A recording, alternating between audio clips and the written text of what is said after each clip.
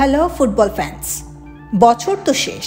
দু হাজার বাইশকে আমন্ত্রণ জানানোর আগে চলুন একবার চোখ বুলিয়ে নেই দু হাজার একুশ সালে ফুটবল দুনিয়ায় ঘটে যাওয়া সব বড় বড় ইভেন্টের দিকে। রেকর্ড করে লিগ শেষ করল বসুন্ধরা কিংস। চার ম্যাচ হাতে রেখে টানা দ্বিতীয় লিগ শিরোপা জেতা বসুন্ধরা কিংস প্রিমিয়ার লিগে নিজেদেরই করা সবচেয়ে বেশি পয়েন্টের রেকর্ড ভেঙে গড়ল নতুন করে। লিগ শেষে একুশ জয়, দুই ড্র ও এক হারে তাদের সংগ্রহ পঁয়ষট্টি পয়েন্ট। বাউান্ন পয়েন্ট নিয়ে লিগে দ্বিতীয় হয়েছে শেখ জামাল ধানমন্ডি ক্লাব। এবং সাতচল্লিশ পয়েন্ট নিয়ে তৃতীয় অবস্থানে আছে আবাহনী। দু হাজার আঠারো উনিশ মৌসুমে প্রথম লিগ শিরোপা জয়ের পথে চব্বিশ ম্যাচে বিশ জয়, তিন ড্র ও এক হারে বসুন্ধরার সংগ্রহ ছিল তেষট্টি পয়েন্ট। এদিকে একুশ গোল করে সেরা গোলদাতা হয়েছেন বসুন্ধরা কিংসের ব্রাজিলিয়ান ফরওয়ার্ড রবিনিও। তবে এ তালিকায় সেরা দশে নেই দেশীয় কোনো ফুটবলার। দশ গোল করে দেশীয় গোলদাতাদের তালিকায় শীর্ষে আছেন আবাহনীর জুয়েল রানা। একত্রিশ বছর পর স্বাধীনতা কাপের শিরোপা পুনরুদ্ধার আবাহনীর। তিন দশক পর আবারও স্বাধীনতা কাপের শিরোপা পুনরুদ্ধার করল আবাহনী লিমিটেড।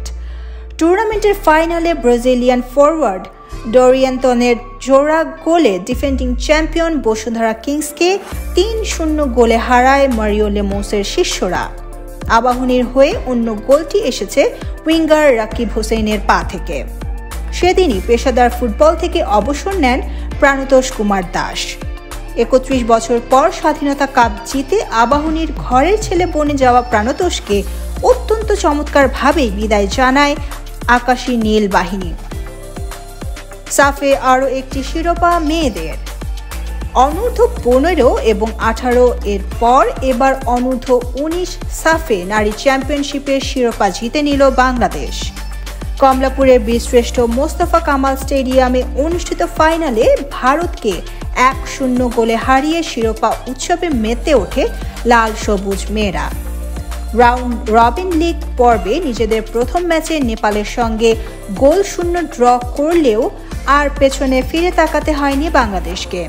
ভুটানকে ছয় শূন্য গোলে, ভারতকে এক শূন্য গোলে এবং শ্রীলঙ্কাকে বারো শূন্য গোলের বিশাল ব্যবধানে হারিয়ে গ্রুপ সেরা হিসেবে ফাইনালে জায়গা করে নিয়েছিল গোলাম রাব্বানি ছোটনের শিষ্যরা।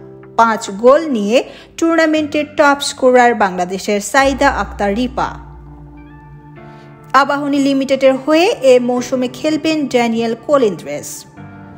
দেশের অন্যতম ঐতিহ্যবাহী ক্লাব আবাহনী লিমিটেডের হয়ে এ মৌসুমে খেলছেন এই কোস্টারিকান।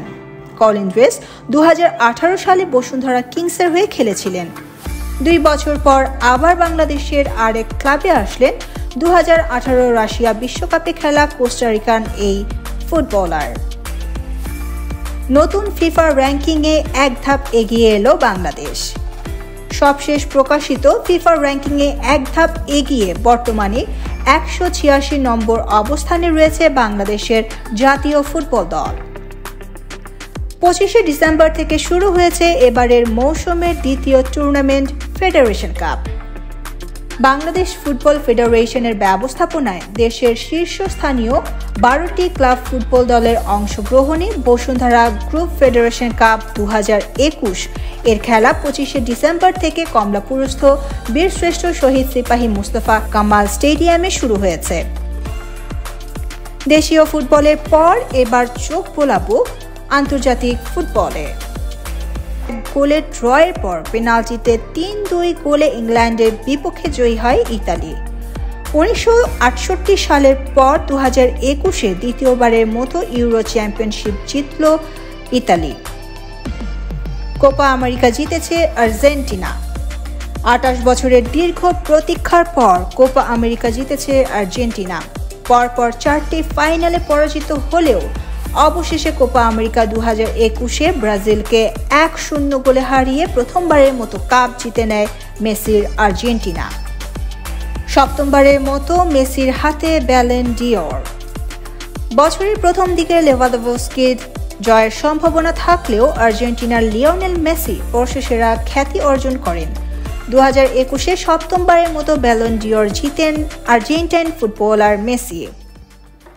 বার্সেলোনা ছেড়ে পিএসজিতে মেসি।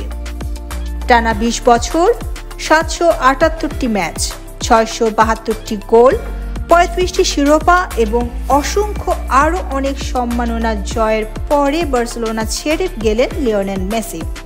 চুক্তি নবায়ন করতে না পারায় সর্বকালের অন্যতম এই সেরা ফুটবলারকে বিদায় জানাতে হয়েছে বার্সেলোনার। শৈশবের ক্লাব বার্সেলোনাকে ছেড়ে ফরাসি ক্লাব পিএসজিতে যোগ দেন মেসি। ক্লাব পরিবর্তন করল রোনালদো। ইতালিয়ান ক্লাব জুভেন্টাস ছেড়ে দ্বিতীয়বারের মতো ম্যানচেস্টার ইউনাইটেডে যোগদান করলেন Portuguese footballer Cristiano Ronaldo. Manchester ইউনাইটেডের সাথে দুই বছরের জন্য চুক্তিবদ্ধ হয়েছেন তিনি। প্রথমবারের মতো নেশনস লিগ চ্যাম্পিয়ন ফ্রান্স। স্পেনকে দুই এক গোলে পরাজিত করে প্রথমবারের মতো নেশনস লিগ জয়ের স্বাদ পায় দিদিয়ের দেশমের দল ফ্রান্স। ম্যাচের আশি মিনিটে কিলিয়ান এম্পাবের গোল জয়ের পথে এগিয়ে নিয়ে যায় ফ্রান্সকে। পরাজিত হলেও স্প্যানিশ খেলোয়াড় Sergio Busquets player of the final হিসেবে নির্বাচিত হন। উয়েফা চ্যাম্পিয়ন্স লিগ জিতেছে চেলসি। চ্যাম্পিয়ন্স লিগের দু হাজার বিশ একুশ মৌসুমের শিরোপা গেছে ইংলিশ ক্লাব চেলসির ঘরে। থমাস টুখেলের নেতৃত্বে ম্যানচেস্টার সিটিকে এক শূন্য গোলে পরাজিত করে ওয়েফা চ্যাম্পিয়ন্স লিগ ট্রফি জিতে নেয় চেলসি। ম্যানচেস্টার সিটির বিজয়ের বর্ষ। দু একুশ সালটি ছিল ম্যানচেস্টার সিটির জন্য বিশেষ সৌভাগ্যপূর্ণ।